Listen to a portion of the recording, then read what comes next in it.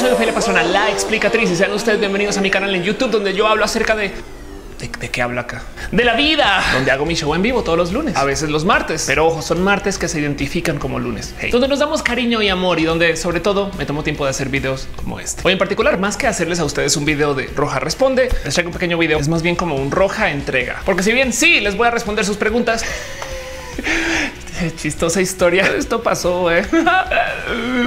Pues básicamente antes de hacer un roja hace dos semanas, yo me tomé la audacia de preguntarles a ustedes en Twitter que si me daban temas para levantar en roja, porque si bien yo tengo mis propios temas y las cosas de las que quiero hablar, a veces la neta, neta, neta, también está chido como nomás poner la oreja y sobra decir que las respuestas a ese tweet fueron cosas tan pinches cool que en las palabras de Ana, analógicamente Patreon desde tiempos inmemorables, todas las respuestas se leían como si fueran pequeñas tesinas. Y la verdad es que sí. Así que yo inmediatamente tomé el tweet, lo puse en mi guion de roja. ¿Y qué fue lo que hizo esta papanatas? No levantó los temas en roja. Les voy a dar una pequeñita simulación de lo que sucedió cuando yo acabé roja ese día y me di cuenta que me salté una sección entera.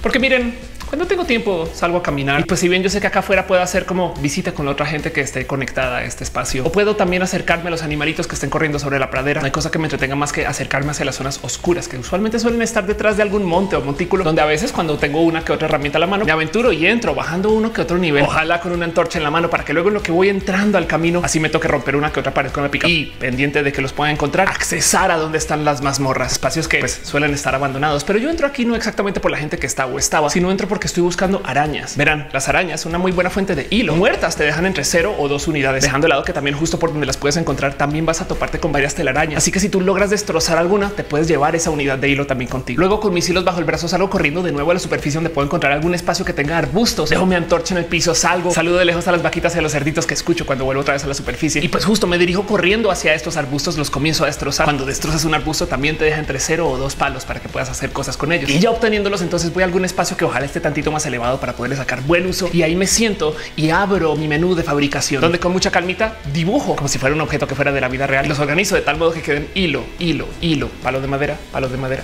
palo de madera, donde automáticamente mi sistema de fabricación me va a decir tienes un arco, un bonito arco cuadriculado de Minecraft que yo uso para luego tomar todas las cosas que me escriben, sobre todo lo que me escriben en este tweet y dispararlo a ustedes como una flecha de conocimiento para que entonces esa flecha viaje a través del terreno y se clave en el piso en un espacio en particular designado para esto que yo le llamo Ofelia responde las preguntas en particular que dejaron en ese tweet que una vez puso antes de Roja y que se le olvidó mencionar durante Roja. Vámonos con sus tweets. Dice Crypto KPTO. ¿Por qué no llevas invitados?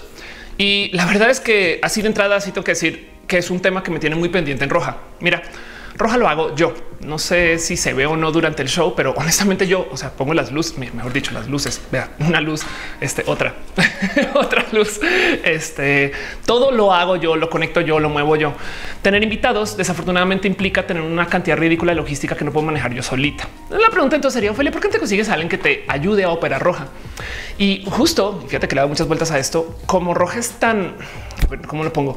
A veces lo hago los domingos, a veces lo hago los lunes y, es como tan independiente en su formación. Le he tenido mucho miedo a crecer el show a riesgo de que se vuelva algo masivo que requiera de mucha manutención que no es mía. Entiéndase, si un domingo no puedo hacer roja, yo sé que lo puedo mover al martes y no pasa nada. Y técnicamente yo sé que debería poder hacer esto cuando yo era staff de personas, pero siento que prefiero este roja que sea autoadministrado y más bien que las cosas para las cuales hay staff y demás son otras como mini roja, como los otros videos, los otros mis otros esfuerzos. Por consecuencia, entonces tener invitados e invitadas por ahorita no es opción. Lo que sí estoy muy dispuesta a hacer es ir a entrevistar gente a sus casas o lugares de trabajo o que vengan a mí, que nos grabamos aquí y entonces pues eso, como que yo pueda entonces como que trabajar con gente aquí, eh, pero para videos, los videos luego yo los edito y demás, que es lo que yo estaba haciendo en este canal de todos modos y en diagnosis. Pero sí tiene la razón. A mí a veces me molesta un poquito el eh, cómo no he crecido este show para que pueda tener invitados e invitadas. Quizás en un futuro. La verdad es que Roja dentro de todo y todo es un show muy grande. Le tengo mucho cariño, mucho amor. Ustedes hacen que esto funcione súper cool, pero sigue siendo un show de casa y por consecuencia entonces tener gente invitada quizás para hacer transmisiones que no sean de roja. Una vez traje a la gente del triste turno, fue muy chido. Puede, puede que haga eso, pero por ahora eso es el tener gente invitada es como digamos que para streams super pro y el mío es amateur tildándole a pro. Dice Aldo Chimal, ¿por qué no hablas de ergonomía, peligros y riesgos de salud por usar tabletas digitalizadoras? que es el nombre más ñoño nerd que he escuchado para nada, una tableta.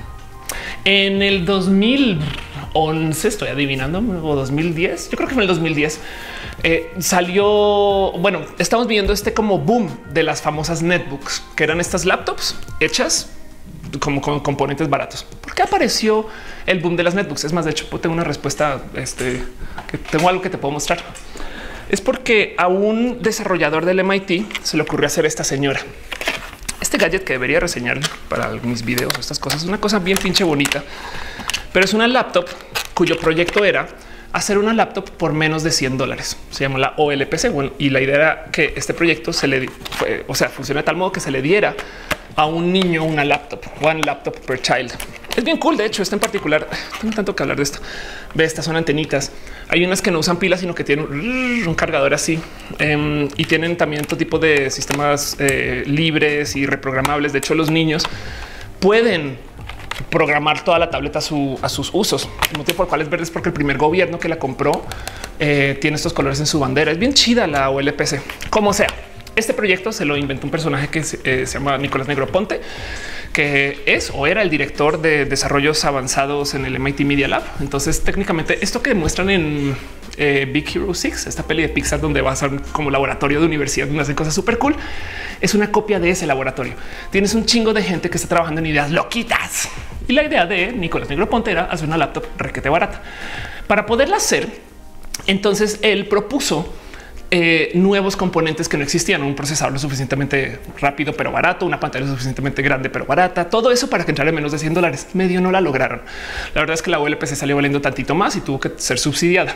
Pero como se desarrollaron estos procesadores chiquitos, ahí salió Intel y ahí salieron los creadores de laptops a decir, güey, no manches. O sea, me estás diciendo que el, eh, no sé, que el valor de fabricación de una laptop bajó de, me voy inventar un número, 400 dólares a 80 o a 90. Entonces, wow, qué cool. Y comenzaron a hacer estas laptops chiquitas que eran como las nuevas propuestas, las netbook. Traigo todo esto a colación porque no se me olvidó una entrevista donde le preguntan a Steve Jobs en ese entonces, oye, ¿cuándo va a salir Apple a hacer una netbook? Porque todos los otros fabricantes ya estaban haciendo netbooks, ¿no?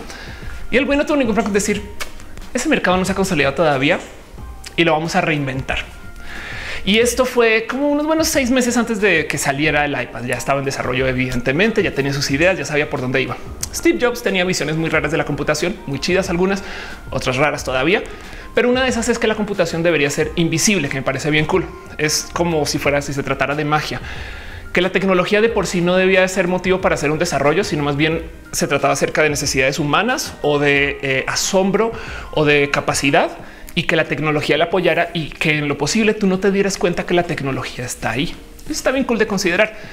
Y por consecuencia, entonces él tenía una real aversión a que tú interactuaras con la tecnología a menos que te tocara. Si bien él comenzó de laptops, pues, sabes, la Apple II, me explico, el comenzó de laptops hechas así, bultosas, inmensas, grandotas. Hacia futuro, él siempre ha ido tildando hacia que sus desarrollos, bueno, cuando vivía, siempre iba tildando que sus desarrollos tuvieran cada vez menos botones. Y entonces el trabajo de él fue en hacer estas cosas, no computadoras planas que no tuvieran casi, casi que ni botones. Acá hay una, dos, tres y ya no. Y de hecho, justo se inventó la pantalla. Bueno, no se la inventó, pero lo volvió un producto, no la pantalla táctil que no tenía teclado y estas cosas. Todo eso es la visión de Steve Jobs. Así que él rehizo el sistema de las tablets, pero con eso también se llevó entre las patas a las netbooks y lo traigo a colación porque las laptops tienen mucho trabajo en ergonomía porque vienen de las desktop. O sea, existieron tanto tiempo como computadoras de escritorio que gente genuinamente se sentó a considerar, ok, qué es lo mejor para el cuerpo humano, no? Que les asignamos arriba, abajo y las laptops tratan de emular eso un poquito. De cierto modo, las desktop tienen el monitor elevadito para que esta, no esta, esta visión no son de cama. Las laptops, pues ya la gente las comenzó a llevar a la cama, pero todavía son como sabes, usables etc. Y las tablets se llevaron todas entre las patas porque Steve Jobs quiso a la vez reemplazar la computación y a la vez eliminar todo lo que tenga que ver con botones y demás. Y eso es bien pinche raro de considerar, porque la neta, neta, las mejores posiciones de uso de tablet son cuando las tienes, pues si las tienes elevadas aquí, no? Entonces ahora te cansas. Steve Jobs no estaba pensando en ergonomía, le estaba pensando en eliminar la computación como la conocíamos y al costo que fuera. Y eso es un verdadero problema. La computación del futuro, en mi opinión, se va a comenzar a integrar más a, nosotros como a nuestro cuerpo y se va a desconectar de ser pantallas, no tipo, por ejemplo, ya lo tenemos en un reloj. Quien quita que el día de mañana carguemos con una CPU acá y cuando llegues a un café, un ciber o en un aeropuerto, simplemente te sientes y ahora te conectes con una terminal tonta que es una pantalla, un teclado, un mouse, pero estás usando tu CPU que puede ser tu procesador del celular, no? Y, entonces eso también es este un, tema bonito a considerar de para dónde vamos. Lo digo porque esta computación que tenemos hoy, que es dañina para nuestras posturas y estas cosas, no va a estar acá por 40 años. Eso sí te lo prometo. Entonces lo que tenemos ahorita es justo un uso que es medianamente tóxico y nocivo de un dispositivo que es súper cool, súper cool. O sea, tenerlos ha sido requete re bueno para la humanidad. Y entonces ahí hay algo que ver.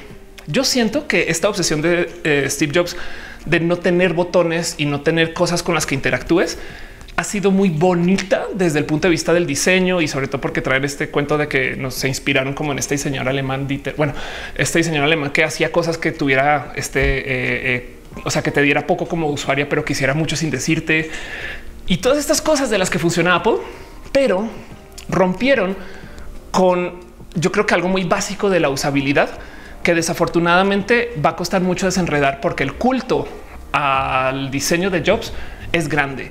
Y no estoy, no estoy en contra, no es, no es queja, es chido. O sea, soy usuaria de Apple. Me explico. la verdad es que eh, pues tampoco es como que digan qué horrible que es y no soy hater, no para nada.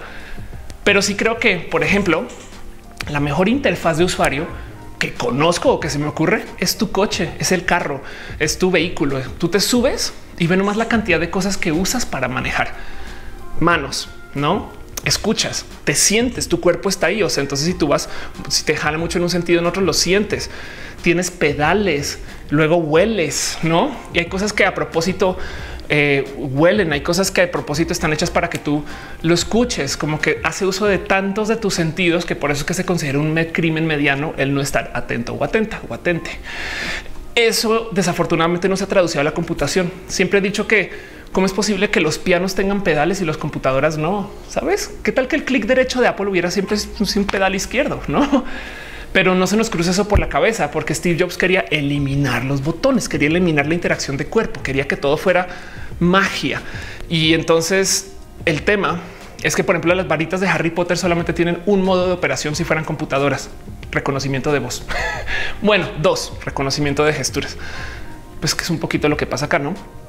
Que es una lástima, porque entiendo el por qué Steve Jobs quería simplificar las cosas para que su mensaje original de se trata del el usuario y no de la tecnología se comunicara y se viera obvio en el producto. Pero del otro lado, sin querer, mucha gente lo entendió como tengamos menos interacciones con el cuerpo. Y eso yo creo que ha roto un chingo de, de posibilidades de cosas que tengan que ver con la usabilidad del futuro y del presente. Así que vamos a ver cuánto tiempo toma para desenredar esa o hasta que alguien comience a hacer verdaderas propuestas, porque por ejemplo ya tenemos como ropa inteligente que reconoce cosas de ti, ya tenemos cámaras que reconocen cosas de ti, ya tenemos tantas como que nuevas tecnologías, sobre todo en el mundo de los videojuegos, que te leen a ti como leen tu cuerpo, que ojalá y esto entonces se vuelva tema otra vez.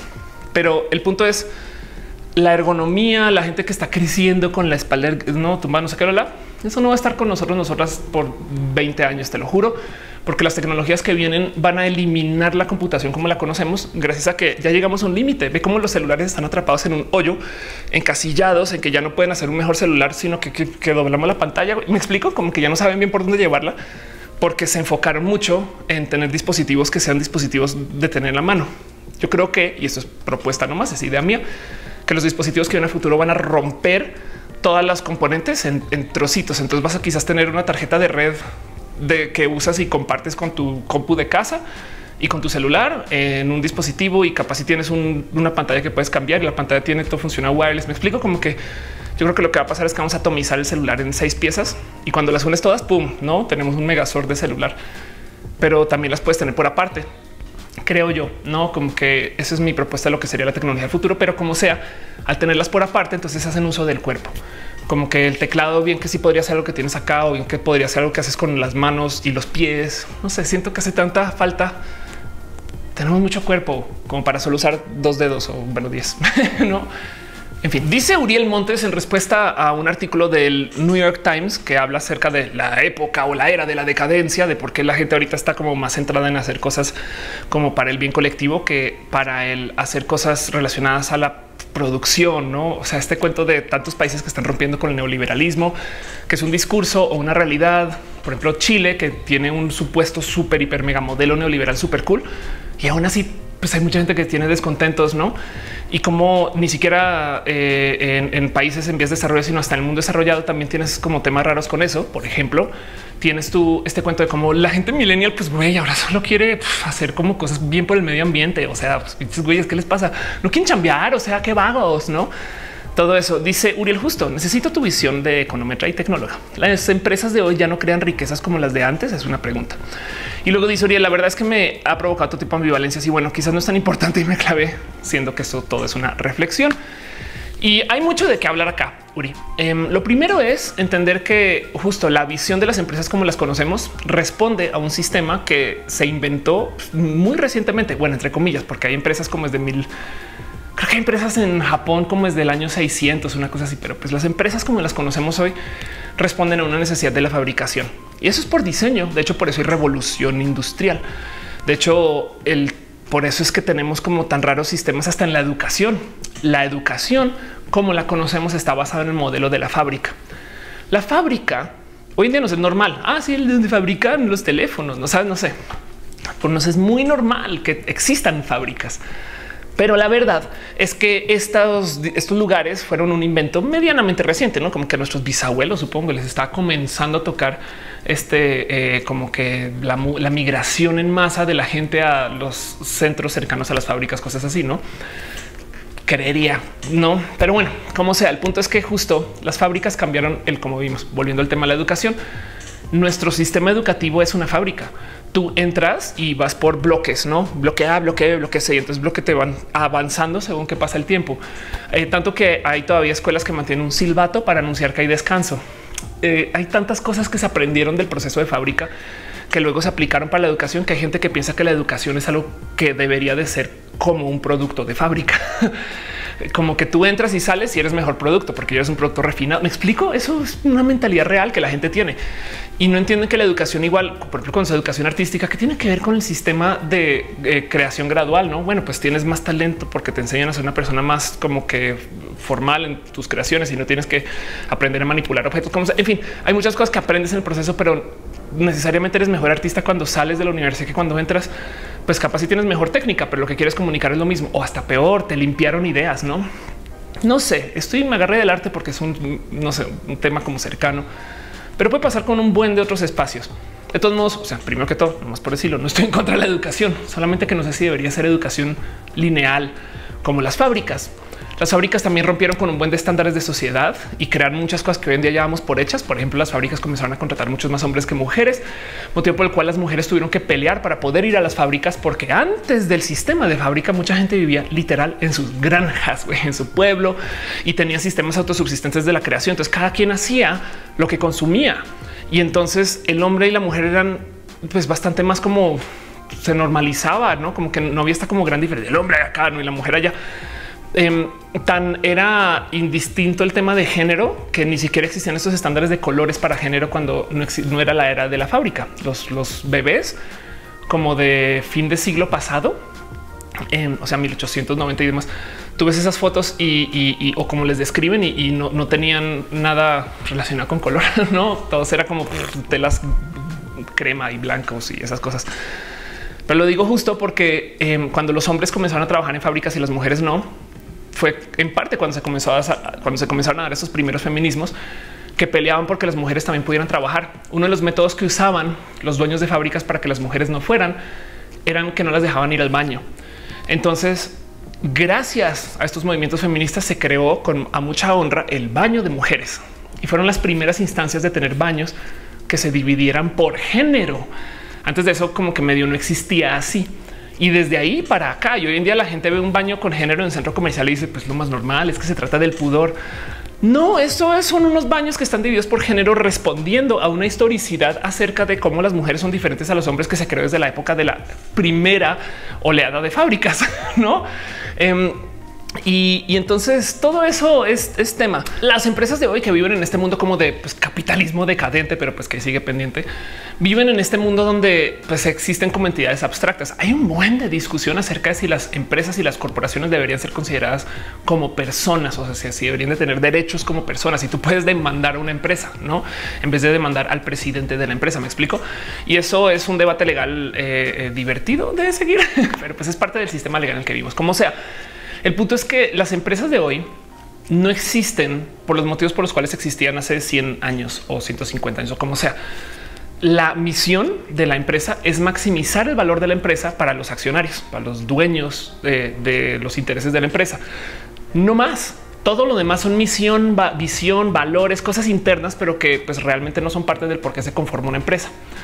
Por eso es que eh, siento yo, y esto es opinión personal, que las empresas, si bien se les debe permitir que existan en libertad, deberían de también tener eh, en una negociación con una entidad que les o regule o, que por lo menos les observe o que les mida. Porque si tú las dejas por su propia cuenta, lo único que van a querer hacer es maximizar el valor de la empresa para sus accionarios. Lo cual quiere decir que entonces hay una cantidad ridícula de empresas que les vale gorro el medio ambiente, les vale gorro eh, el cómo operan siempre y cuando puedan generar más valor para sus accionarios. No, si fueran personas, hay como ataduras moralinas o ataduras de formación o ataduras de alianza con otras personas. Me explico, es como pues no, pues yo no voy a joder a mis vecinos porque son mis vecinos, no? Pero como a nivel empresa, como se despersonaliza, la verdad es que las empresas son a veces muy dañinas con tal de seguir creciendo. Y esto, pues nada, pues por eso lo, vivimos y lo vemos hoy. Antes se documentaba mucho, pero como no teníamos el Internet o herramientas de, pues no sé, de señalar como con eficacia, no había como parar algunas bestias, algunos monstruos y se han creado unas atrocidades horribles. Y en épocas modernas también, no? O sea, tampoco es como que ahorita ya solucionamos todo eso. Como sea, el punto es que la generación, sobre todo la generación baby boomer, se encargó de llevar estas empresas muy grandes y muy capaces a ser ultra grandes y capaces. Y entonces las empresas de hoy tienen uso de tecnologías y formación y alianzas y tienen cosas que hablan de lo global y cosas que cuando no sé, cuando mis abuelos vivían, pues era raro. Era bien raro que una empresa tuviera nexos internacionales, eh, sobre todo si son empresas medianamente nuevas, no? Porque están estas historias de empresas que llevan 200, 300 años y pues obviamente son internacionales desde su formación.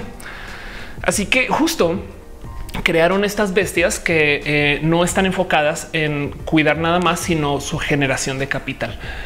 Y eso ha creado una filosofía de, formación de muchas personas y ha creado un sistema de, bienestar que eh, no quiero debatir aquí hoy, no quiero platicar. Eh, honestamente, yo creo que si se genera valor, como se genera desde lo capital, em, pues tenemos más, entre comillas, plastilina para organizar y lo que hace falta son sistemas de redistribución. Pero del otro lado, el que las empresas se les deje hacer eso y solo por fin de generar capital, yo creo que merece un poquito de revisión. Nuestra generación en particular está más conectada con las potenciales y catastróficas consecuencias que puede tener pensar así hacia el futuro. De hecho, por eso se le llama la nueva generación, entre comillas, así como hay boomer, hay generación doomer, no es como están doomed, están jodidas. güey. Ya les va a tocar el cambio climático rudo. O sea, los chiquititos, los que están, no los que nacieron en el 2008, por les va a tocar el cambio climático rudo. Em, la generación milenial creo que la primera generación en muchas décadas, y es que no muchos siglos, en tener menos valor eh, eh, como generación que la anterior.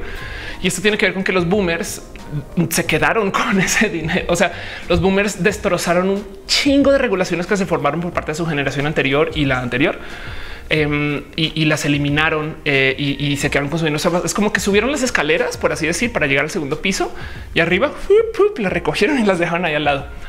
Puede que exista una gran transferencia de eh, dinero cuando comiencen a morir en muy en masa la generación boomer y qué va a pasar con todo eso. Lo más probable es que bastante de eso también se desaparezca porque simplemente no hay con quién dejar. Entonces vamos a ver qué pasa. Pero como sea la generación millennial, es la más jodida porque si se deja ese dinero, o sea, para ese momento esa transferencia de, valor o, de riqueza sería para otra generación. En fin, todo esto lo digo porque justo la generación nueva millennial conectada al Internet y de ahí para abajo, no Z, Doomer o bueno, también les dicen alfa, están lidiando con cosas que no son necesariamente atadas a la generación de capital. Y entonces, pues por supuesto que un espacio como el New York Times va a tomar como este salto de güey, es la decadencia. Ahora el artículo que enlazas no lo levanta tan así. La verdad es que tiene una posición un poquito más como neutral con Pero pues si tú llevas décadas de hacer una empresa cuya misión es maximizar la cantidad de dinero que genera y de repente llega alguien, alguien y dice, ¿y de qué sirve eso si nos vamos a quedar sin océanos? Y entonces quiere trabajar por algo que no necesariamente genere la mayor cantidad de dinero, sino genere alguna forma de bienestar que se mida por motivos diferentes a lo que sea la generación capitalista. ¡Pum! Por supuesto que van a decir que es decadente, ¿no? Por supuesto que van a decir que eso no genera valor. El problema es que cómo le asignas una métrica de valor a tener coral. no es complejo. Sí, la verdad es que como dices tú en tu tweet, las empresas de hoy no crean riqueza como las de antes, pero es que hay riquezas que no se pueden medir en dólares o en pesos y es súper difícil poder ponerle una métrica a eso. Y lo digo porque justo hoy en día que no se te olvide que nuestros sistemas capitalistas ni siquiera están trabajando sobre la posibilidad de la existencia de hoy la bolsa de valores invierte en el futuro. Son predicciones de lo que va a pasar. Es gente invirtiendo no en el valor de una empresa actual, sino en para dónde va. Lo cual quiere decir que le sirve a la gente que especula y le sirve a la gente que invierte el saber cómo se van a comportar las cosas. Si de repente uno de los valores por los cuales se miden las empresas es cuidado de mm, polución, Entonces hay 10 métricas diferentes y son difíciles de comparar. Por consecuencia, entonces una empresa puede ser muy, muy, muy buena para el medio ambiente, pero está haciendo muy poquito dinero y una está haciendo un chingo de dinero y es horrible para el medio ambiente. Pero como está dentro del sistema capitalista, la podemos por lo menos, por lo menos proyectar, predecir. Podemos como medio tener una métrica para ver para dónde va. Y entonces la gente que invierte, la gente que trabaja dentro del sistema global capitalista, pues va a preferir la que es más sucia, pero que se le puede medir. Y eso es un problema, porque entonces, en mi opinión, ambas están generando riqueza. La verdad es que la riqueza capital pues, es una forma de riqueza, no puedo negar, soy economista. Pero también el tener aire limpio es una forma de riqueza. Pero es que el aire limpio, ¿cuánto vale? No? Eh, eh, el que, el que, el que es como decir, pues sí, es que los bebés cuando consumen este producto sonríen, los bebés cuando consumen este producto pues están pues, nutridos y entonces cuál es mejor, no? ¿Cómo que cómo trabajas con eso? Es un tema, es un tema muy, muy, muy, muy, muy difícil de desenredar y desafortunadamente suele ser que se tilda hacia los sistemas capitalistas. O sea, suele ser que quiere que la gente tenga cosas que maximicen el valor y la riqueza y la generación y, no toma en cuenta las, digamos que las medidas sui generis de riquezas, que es una lástima y eso a ver cómo se desarma y qué se crea. Em, honestamente, yo siento que hace falta un buen de como supervisión de lo ambiental, eh, métricas de bienestar. Yo creo que eh, sería chido tener más como observación sobre eso. Y evidentemente, y por supuesto, esto sí que hace falta en un mundo que es así de desigual. También hace falta sistemas para redistribuir esta riqueza, porque mm, esto que tenemos ahorita, donde el rico se hace rico, no sé qué, que viene desde hace mucho tiempo, hay que, pues no es sostenible, no? O sea, es cíclico, pero pues ahora hay tanta riqueza en el planeta que es raro de considerar que hay gente que vive ahorita que ni ellos, ni sus hijos, ni sus nietos, ni sus bisnietos van a tener que trabajar solamente por la creación de una persona, de algo que habrá hecho, que puede que no haya hecho. Me explico, es raro de considerar eso, ¿no? Pero bueno, el tema de desigualdad no tiene que ver con lo que tú hablas. Solamente me salta mucho que lo presenten como la decadencia, ¿no? Pero pues es que claro, por supuesto, la generación boomer se les enseñó que las empresas tienen que hacer riqueza desde lo capitalista y hay cosas que son señas de riqueza que honestamente son difíciles de medir, como cuántos arbustos bonitos hay en la entrada de la ciudad. No sé, no. Espero haga sentido esa respuesta. No, no suena muy hater. Grumpy Dan, más que pasarme eh, un comentario, me pasa una nota acerca de suicidio de, de, una activista transgénero, también guionista, eh, que eh, se llama Camila María Concepción. Camila María Eh, trabajó, de hecho, en Netflix como guionista en una serie que se llama Gentify, creo que era una serie progresista súper cool que eh, habla justo acerca de estos temas de hoy.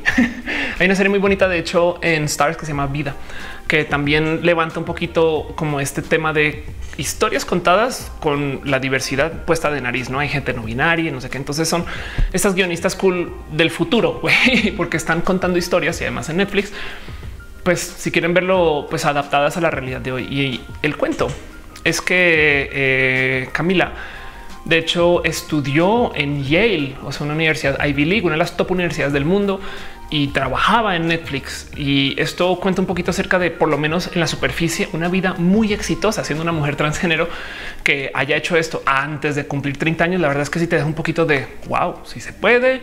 Hay mucho de qué platicar acerca de su trabajo que es chido y aún así se suicida. Y me recuerda mucho también estas historias de cómo nos topamos con artistas muy logrados que de repente, pues nada, pues también se quitan su propia vida y te sacan a relucir que el éxito y la realización y la salud mental son tres cosas que van por aparte.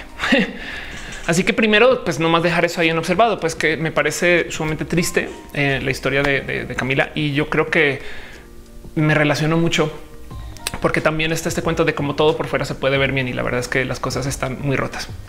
Añado esa mezcla y sin saber en lo más mínimo cómo era la vida laboral de Camila, que trabajar con los medios mainstream, con la gente establecida, trabajar con la gente que, eh, pues nada, que no comulga con la diversidad, es rudo también. Entonces yo no sé cómo habrá sido su situación de, no sé, como producto o bueno, como escritor, estas cosas, pero no dudo que de todos modos lidiar con la diversidad en espacios que le venden a personas, por lo menos desde lo masivo, ha de ser súper complejo. Sí me ha pasado que cuando trabajo con gente que está, por ejemplo, en tele, se asustan de no, no, es que no puedes poner gente trans en la tele. Yo, güey, me estás entrevistando, culero. Me explico.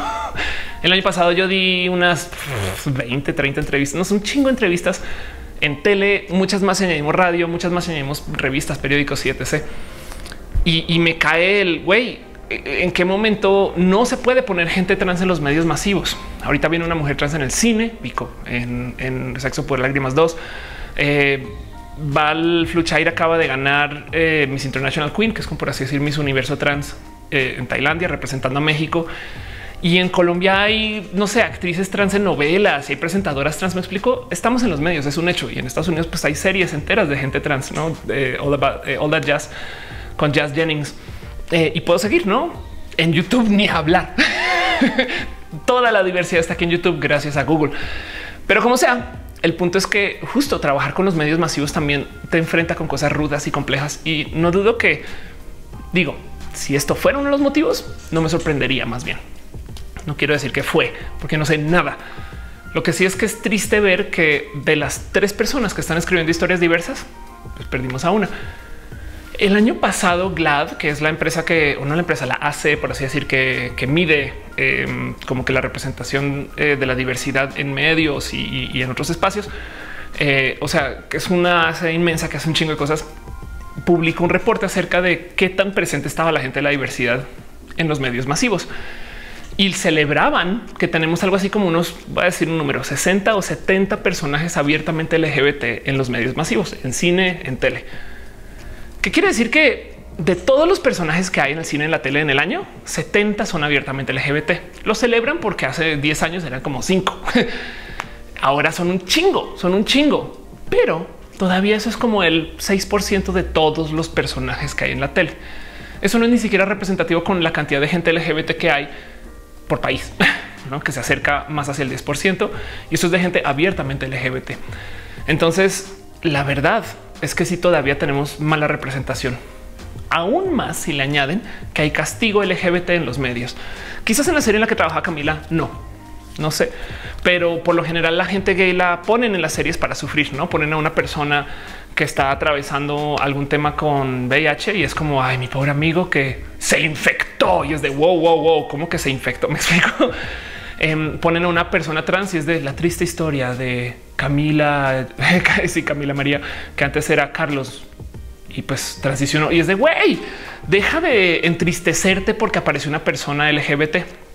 Hay una estadística horrible que creo que más del 60 o el 70 por ciento de las mujeres lesbianas en la tele mueren, o sea, las matan, no? Eh, y esto, si ustedes ven alguna serie con gente que donde estaba ese personaje que era esa mujer que era lesbiana, vean cómo la asesinaron.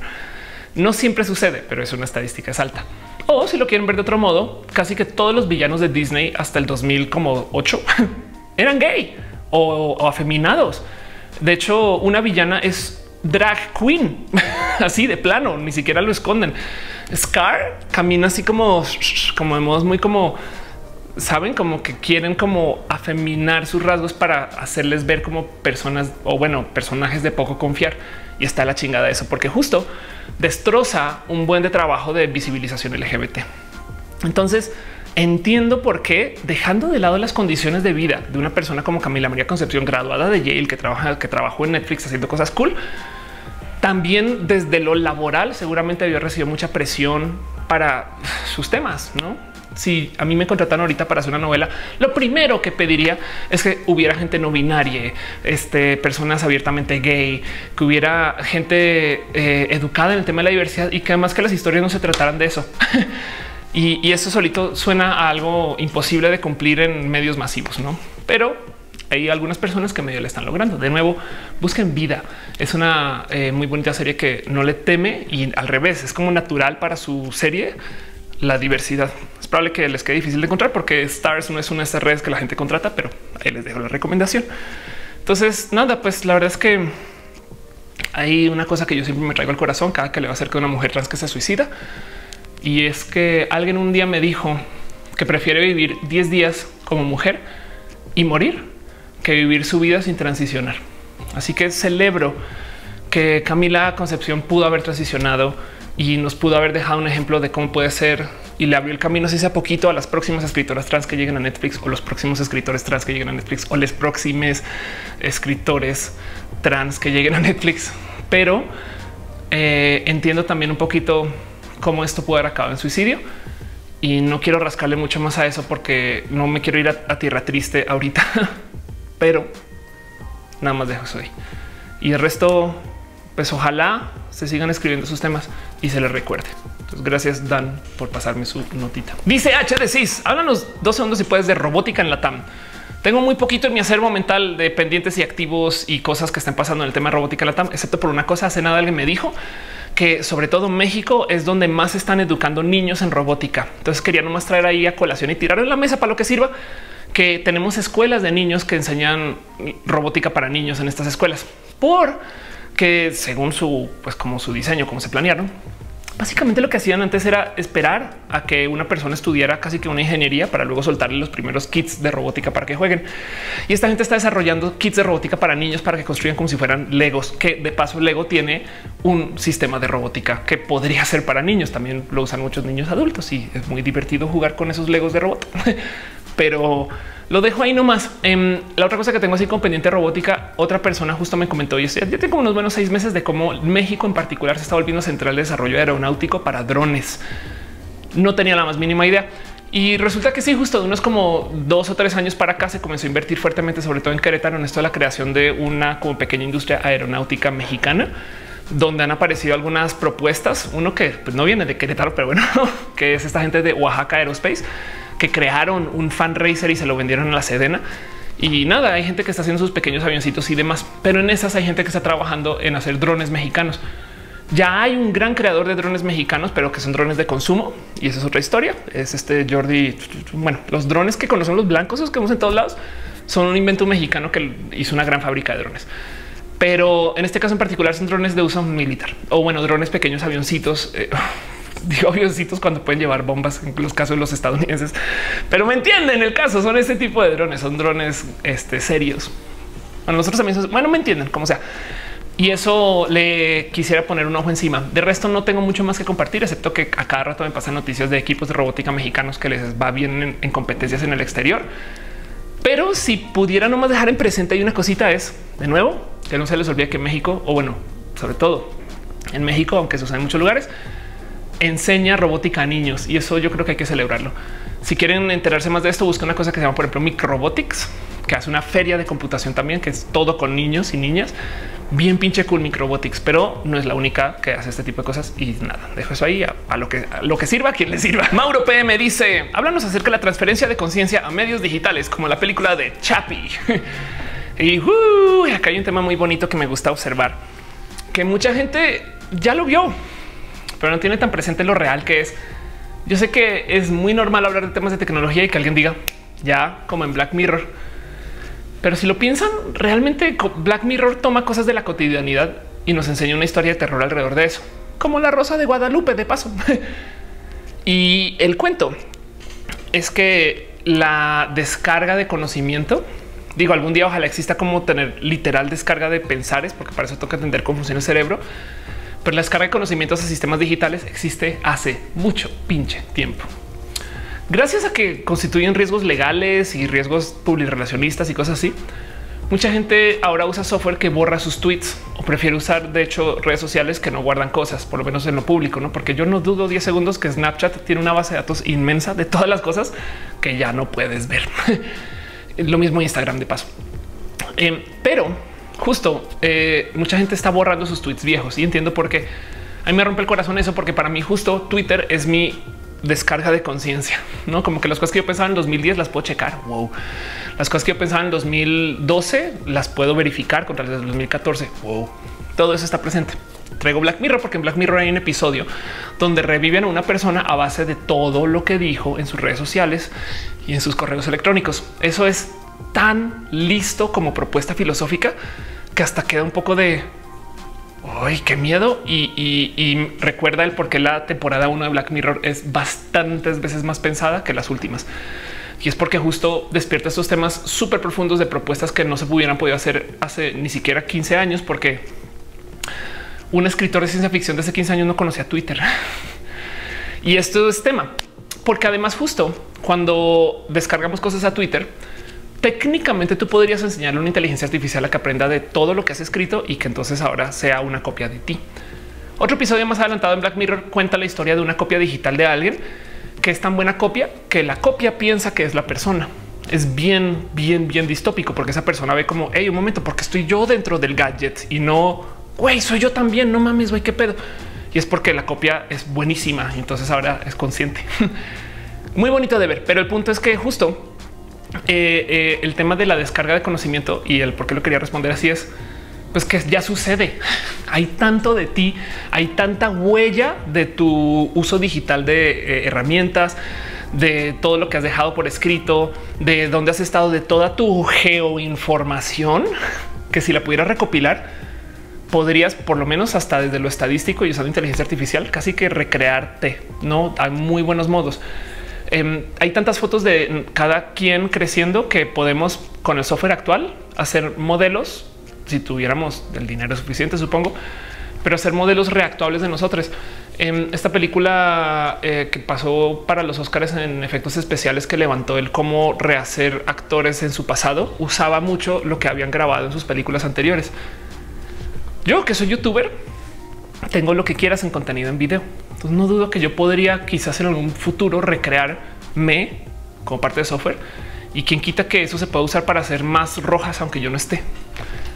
Y, nunca tuve que descargarme, no, nunca tuve que conectarme al cerebro, sino mi, mi mera, el mero acto de publicar. Ya estás descargando pues, parte de tu conciencia medios digitales. Dice Kichink ya te pagó una cuenta en Twitter al parecer solamente para recopilar historias acerca de los adeudos de Kichink y se habla del adeudo de Kichink. Y el tema es el siguiente, como hice un bonito video acerca de casos de Badabun y MeToo, entonces mucha gente me dijo, ahora destroza Kichink. Digo, la verdad es que puede que sí se lo merezcan por cómo se han presentado ante los medios o bueno, ante sus usuarios y, lo que están haciendo es rudo. Para los que no saben, Kichink es un servicio donde tú haces creaciones o artesanales o de tu propia fabricación o si, tienes playeras, lo que sea. Y ellos se encargan como servicio de vender eh, todo eso en el Internet. Luego le dan seguimiento y luego son como una tienda plus, como que si tú montas una tienda en línea, pues tú tienes que vender todo y tienes que enviarlo cada tanto y no sé qué. Ellos hacen todo eso por ti y luego te pagan tu dinero. Pues de repente dejaron de pagar. Y cuando tú ves que tienes X o Y en ventas y que cuentas con ese dinero, es ahora qué pedo, güey, porque no me están pagando. Y al parecer se desaparecieron y que no y que volvieron. Y a diferencia de Badun y de Badabun y de MeToo, Badun no. a diferencia de Badabun y MeToo, Kitchen que es una empresa mucho, mucho más pequeña. Mí parte de lo que me saltaba en el video de Badabun y Mito es que son empresas millonarias. Perdón, Mito tiene que era 40 millones de dólares en inversión. porque chingados no pagan? No mamen. Kichink del otro lado es una empresa nacional que tenía una muy buena idea, que tuvo inversión de eh, varios grupos inversionistas locales y que de todos modos creció y se volvió pues, masivo porque su servicio es bueno. Pero pues, ¿qué pasó? Desafortunadamente, a diferencia de Badabun y Mito, no tengo información interna de esas dos empresas, Badabun y Mito, pues yo trabajé con o estuve cerca o, le tengo el dedo puesto encima porque yo era parte de esa industria. Kichink me llegó de sorpresa. No mames que Kichink se fue a la chingada. Fue lo primero que dije. Entonces tengo muy poquito que compartir y he estado preguntando y nadie me ha querido decir mucho. Curiosamente, quien más me ha podido decir acerca de esto fue la misma cuenta de que ya te pagó respondiendo ahí sobre el tweet. Y entonces también por eso lo traigo acá para quien le interese o quien sepa más, igual aviente mi información, porque si se puede recopilar suficiente, pues yo lo publico en un video, no pasa nada. Pero bueno, dice arroba que no paga. Fue un tema de mala administración sumado a malas decisiones. La gota que derramó el vaso fue un proyecto que tenía con gobierno en la Ciudad de México que no se hizo. Entonces, Está la chingada que eh, esta gente reciba dinero tuyo y no te lo dé. Saben como que apostó con tu dinero y ahora tiene que pagar su apuesta, perdieron su apuesta. Y técnicamente pagas tú, no, no es de su dinero interno. Y entonces esto puede ser bien complejo y rudo. Para añadirle que la gente salga a decir hey, que no me está pagando, puede que tumbe a la empresa, lo cual quiere decir que no van a pagar del total no es queja. Al revés, por supuesto que hay que eh, levantar la voz y hay que salir y decirlo. Em, y por supuesto que hay que decirlo. Solamente que estoy nomás dejando ahí el y para rematar esto puede que suceda que eh, eh, tirar aquí chinca piso va a ser que pues finalmente no paguen del total.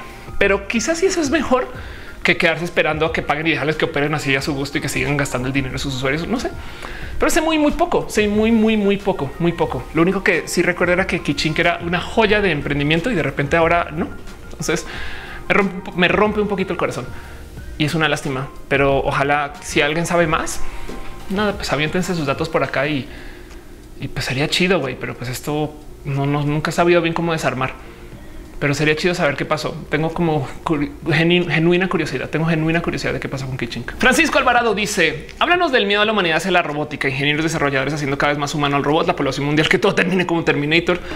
Cuéntanos un poco de eso. Y la verdad es que es un tema que yo he levantado mucho, mucho, mucho, mucho, mucho, mucho, mucho en roja, porque me asombra que nos asuste la tecnología cuando tan usuarias somos de la tecnología. Miren, la ropa es tecnología y ya la normalizamos. Imagínense un Black Mirror de el año que güey, no sé, desde el año como mil antes de Cristo, cuando la gente comenzó a usar nuevas tecnologías de ropa y que de repente te dijeran no, no, no, no, no, la ropa de dos telas te puede asesinar.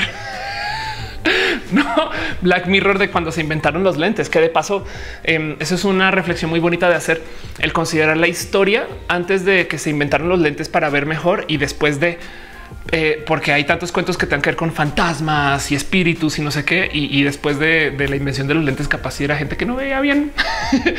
bueno, el caso, el caso. Em, traigo todo eso porque justo el miedo a la tecnología realmente no es miedo a la tecnología. Eh, todas las historias, Robocop, todas las historias Terminator, eh, todo Black Mirror básicamente nos tratan de asustar con la tecnología, pero el miedo base no es que exista la tecnología, es que la tecnología es una creación de el ser humano. El miedo base es que nos quiten el libre albedrío. Y es que hay un algo con la tecnología que no hemos internalizado y es que la tecnología la tenemos esclavizada. El celular hace lo que yo le digo. Suena tonto porque es un celular, güey, ¿qué quieres? No? Cuando comiencen a tomar conciencia, porque pues el diseño es que va por allá. Mucha gente tiene miedo de güey, se van a dar cuenta que los tratamos re mal, güey, los hacemos trabajar todo el día, no les damos descanso, no les es más, acaban su vida útil y a Dios los tiramos en vez de cuidarlos. ¿no? Tenemos muchas culpas que están más atadas al, antropomorfizar la, tecnología que la realidad. No, o sea, también la neta es que qué más va a ser una computadora sino trabajar, no sabe hacer más. Se le diseñó para eso. Las máquinas también pero si tuvieran conciencia, mm, entonces esa discusión hay que tenerla. Pero si tomamos las historias de los míos de la tecnología, un viajero en el tiempo que es un robot vino a asesinar a la persona que fue el líder de la revolución contra los robots en el pasado, Terminator. Esa historia pudo haber sido un dios viajó al monte Olimpo desde otro planeta, desde otro monte, desde otro Olimpo, desde otro espacio, desde donde sea como sea, se materializó y quiso entonces asesinar al, enemigo más grande de su padre, no? Y eso, pues nada, pudo haber sido una gran historia de alguna épica eh, eh, eh, situación griega. Sabes como que la verdad es que la historia de Terminator lo que nos da miedo es que la tecnología en nuestro colectivo consciente es, y es algo que hicimos. Entonces tiene como peso extra, porque que te digan que un dios fue a pelear contra Zeus, bueno, pero si ese dios es el hijo de la humanidad, no? Entonces trae un peso de ¡ah! entonces hay un poquito de mí ahí, no? Y, y por consecuencia, desafortunadamente son muy buenas historias porque tú te proyectas ahí. O sea, honestamente, genuinamente la gente sí dice, sí, güey, es que yo tengo una relación con la tecnología. Pensamos que no, pero cuántas horas al día pasamos detrás de pantallas, güey. Si llegaran aliens del espacio, yo creo que se sorprenderían de vernos que estamos todo el día pegados detrás de rectángulos que brillan. Y eso es un tema. Y entonces justo como tenemos esta relación con la tecnología, nos daría miedo que eh, la relación fuera un poco más activa que pasiva.